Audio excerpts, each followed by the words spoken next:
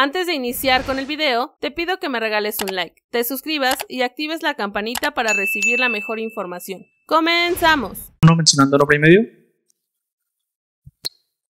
Adelante, por favor. ¿Cómo está, profe? Eh, Sergio Treviño para, para Fox Sports. ¿Qué sabor de boca le deja el partido de hoy? Un Rayados que, que normalmente es muy complicado aquí. Hoy puso incluso una alineación alternativa el profe Tano con algunos canteranos y demás. ¿Qué te deja esta noche? Hola, buenas noches. Eh, yo miraba el equipo, no, no, no, no, lo veo tan alternativo el equipo, ¿no? Porque jugó Funes Mori, jugó Mesa, empezás a mirar este, la línea de cuatro, de, lo, de lo, los cuatro y golero, solo el lateral derecho. Eh, creo que hay cuatro cambios, ¿no? Con respecto a, a, lo, que lo hacen habitualmente. Eh, pero bueno, tienen muy buen equipo. Este, y bueno, nos no, no deja una sensación de, de, de, tristeza porque hoy queríamos lograr un resultado positivo para poder este, ya estar en, en, zona de clasificación. La verdad que bueno, recibí un gol muy temprano en la primera jugada eh, de pelota quieta nuevamente, que que es mérito de ellos, sí, pero también creo que hay un error nuestro de, concentración.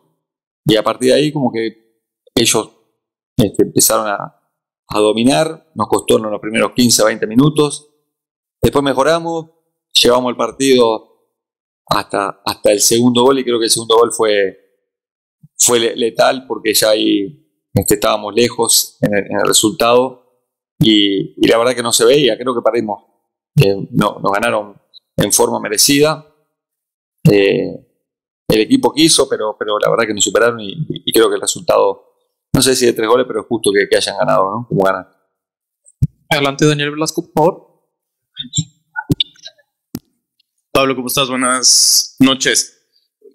¿Qué tanto sientes que haya pesado la ausencia de, de Juan Bruneta? En sensaciones me parece que, que faltó mucho justo esta, esta sensación de peligro en el, en el, arco de rayados. No sé si tú así lo percibas y qué tanto sientes que haya faltado Bruneta. Sí, ni hablar que es un jugador importante, ¿no? Muy importante.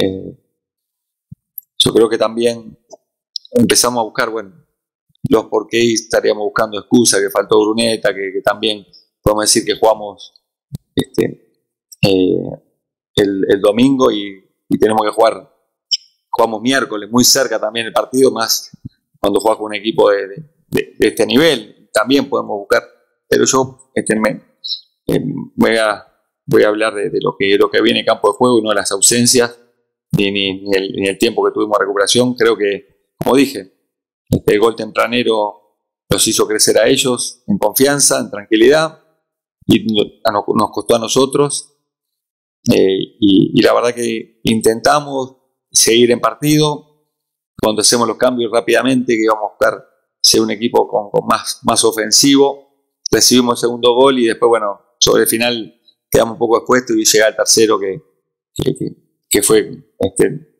eh, ya creo que yo estaba, ya estaba casi resuelto el partido, ¿no? Cuando nace en el tercero. Profe, adelante.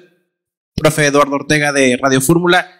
¿Qué mensaje dará a sus hombres después de, este resultado, ya que el próximo fin de semana viene el eh, van, tienen el partido contra el Atlético de San Luis, en donde ellos están buscando la liguilla directa y pues ustedes el, el play-in? Sí, eh, sabíamos, hoy era un partido atrasado, la tabla se mantiene, nosotros estamos en el décimo lugar, hay unos cuantos cruces y, y dependemos nosotros, ¿no? ese es el mensaje Hoy ya estamos pensando en el partido con San Luis, recuperar el gran esfuerzo que se viene haciendo con esta seguidilla. Lamentablemente nos, toca jugar entre medio, lo dije antes, no, no estoy hablando por el resultado, que quede claro, pero nos toca jugar este partido que no fue responsabilidad nuestra entre medio de, de, una final, porque tenemos una final, ¿no? que vamos a jugar jugarnos el, prácticamente todo, todo este, este semestre. ¿no? Entonces se dio así y a recuperar a los jugadores, la confianza de siempre y, sabiendo que, dependemos nosotros, ¿no? que es, creo que, que eso es, es, una tranquilidad que tenemos y bueno, a jugar con todo el último partido que tenemos. Vamos con una más de este lado, por favor. Muchas. ¿Cómo está, profe? Buenas noches. Alejandro Aguirre, Televisión Azteca. Profe, siente que de pronto ha sido el fútbol eh, o los resultados un poco injustos con el Santos, porque ha habido lapsos importantes de muchos partidos en los que ha jugado bien, en que los que le, han competido a los primeros lugares del torneo, más allá de lo que se ve con Santos, a la América le compiten, a la Tigre le compiten. Siente que ha sido injusto. Además, tienen al líder de goleo, al que para muchos es el mejor jugador del torneo, como, como Bruneta. ¿Siente que ha sido injusto el fútbol con Santos o los resultados? Hoy fue justo. Hoy no tengo duda. Hoy tenemos que ser sinceros, y lo dije, ¿no? No por la pregunta que me estás haciendo. Pero sí, si miramos un poquito hacia atrás, yo creo que hoy nos sentimos superados por primera vez. Porque después empezamos a mirar todos los partidos y quizá hay algún partido puntual que, que bueno, que hemos perdido. Eh, nos toca perder con uno menos con León. Competimos de visita. Este, creo que el equipo estuvo a la altura de, de Tigre, estuvo a la altura de América, que son los equipos que están arriba. Eh, y así no, no ha pasado. Eh, por diferentes motivos, bueno, no, no. Este, sentimos que sí, que podemos un poco más, pero bueno, eso también es volver a, poner excusas y, no, no ver la realidad. Esta es la realidad que nos toca. Tenemos la posibilidad de, de poder eh, lograr la clasificación el, sábado. Este, y lo que pasó antes este, es un tema que, bueno, el análisis pueden hacer ustedes. Nosotros, de lo que pasó antes, intentamos mejorar y creo que el equipo ha, tenido un, un, crecimiento, independientemente, bueno, del partido de hoy que no, no hicimos de los mejores partidos, pero sí en líneas generales creo que el equipo ha competido y, bueno, ojalá que que terminemos creo, en el lugar que merecemos, que clasificando a la, a la, a la liguilla. ¿no? Concluimos atención a ellos, que pasen muy buena noche. Gracias, gracias.